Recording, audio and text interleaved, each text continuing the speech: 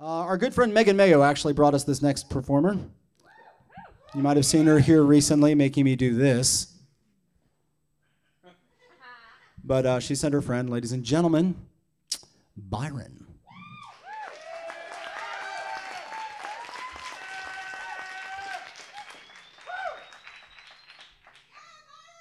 Thank you. Good evening, good ass people.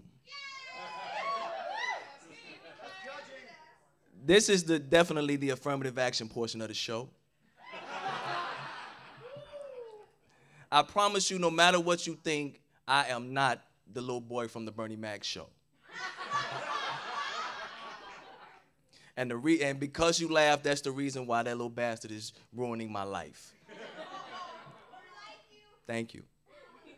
I want to tell y'all a little something. I'm from Mississippi, and I graduated from college, and I was fortunate enough to make it out of poverty, so it's things I don't have to worry about anymore. I don't have to worry about gangs. I don't have to worry about murders and drive-bys. I don't have to worry about raggedy homes. I got real stuff I got to worry about now. I got to worry about the mafia. Y'all might know them as the Homeowners Association.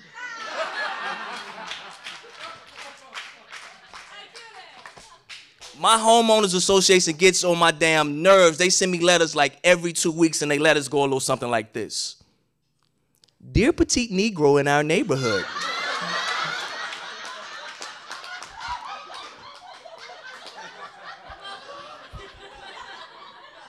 it gets worse. With the bald head and the dirty glasses. We've noticed that your fence is really ragged and it needs to be restained.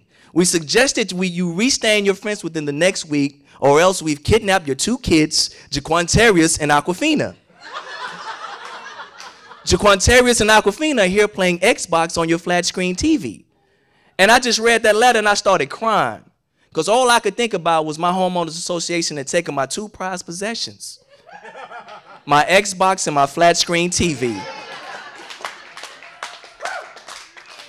It's tough in these suburban streets. It's so real. Life was so easy when I was living in the projects. Back in those days, all I had to worry about was weed and crackheads. Now I got to worry about keeping weeds out my flower bed. it's tough. When I lived in the projects, you could just throw a pissy mattress by the garbage can, nobody said a word. In the suburbs, I dare you throw a pissy mattress out by the garbage can, and you don't put no polo sheets on them. It's tough in these suburban streets. I like y'all. I like y'all. Yeah, yeah, yeah. I want to tell y'all something else. Racism is old fashioned, classism is the new racism. You damn right. The, the color of your skin is not as important as how much money you make, what type of car you drive, what type of house you live in. I kick it with way more white dudes from the trailer park than I kick it with balling ass black dudes making it rain in the club. That's because those white dudes from the trailer park don't judge me when we playing Super Nintendo on my 13 inch screen TV.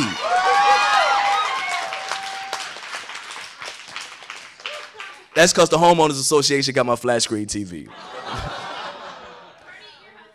there we go. I got water for everybody. and on that same token, my self esteem is just crushed when I go to the club with my ball and black friends that got on these expensive Ed Hardy shirts, True, True Religion jeans. My self esteem is just crushed when I go in the club and, my, and I got on a Bugle Boy shirt. I'm trying to have fun, party with people. I'm getting stupid questions like, Are those Bugle Boy jeans you're wearing? I'm like, Hell no, these Jordache. I might keep that joke. Okay. I hear people, I hear guys all the time talking about how they proud to be a mama's boy. Well, I'm standing in front of y'all proud right now to say I'm a deadbeat daddy's boy.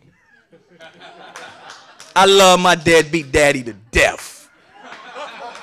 That's because every time I saw him, whatever he did for me, it was definitely a photo opportunity.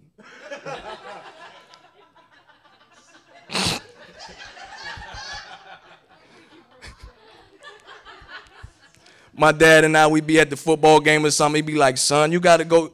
Look at you. You. Let's tie your shoe, son. What's wrong? Let's go tie your shoe, Byron. Excuse me. Could you take a picture real quick?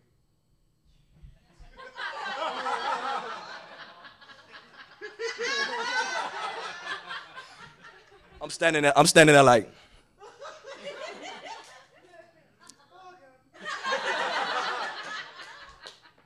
Everything he did for me was huge. He had to get proof that he was taking care of his kids. Oh, you got to go to the bathroom, son? Don't forget, let's go wash your hands, all right? Get some soap.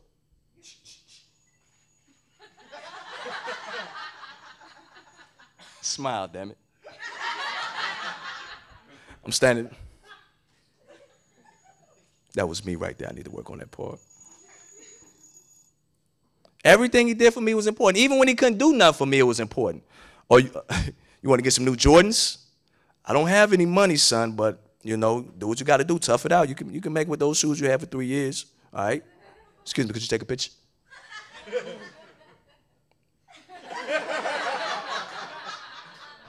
I'm standing there like.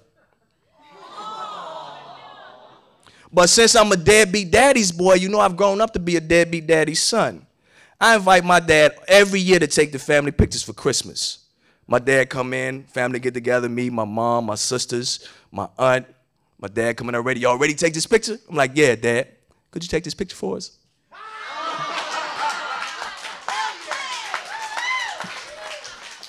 On the count of three, everybody say Negro, please. Negro, please.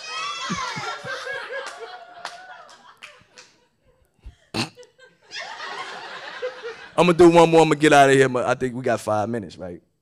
Okay. Um, I know y'all looking at me. I'm all sexy. My physique is real nice. And Stop lying. I don't go to the gym. It's too much grunting and yelling when you go to the gym. Soon as you walk in the gym, it's uh, uh, and that's the damn lady at the water fountain.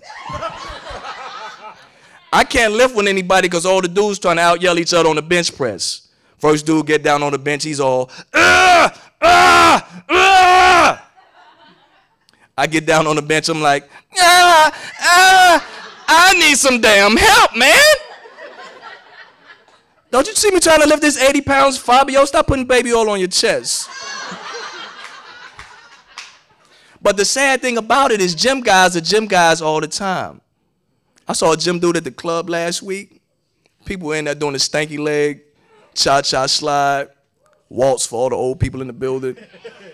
This dude was in there doing his own thing. He was dancing his butt off. He was in there just.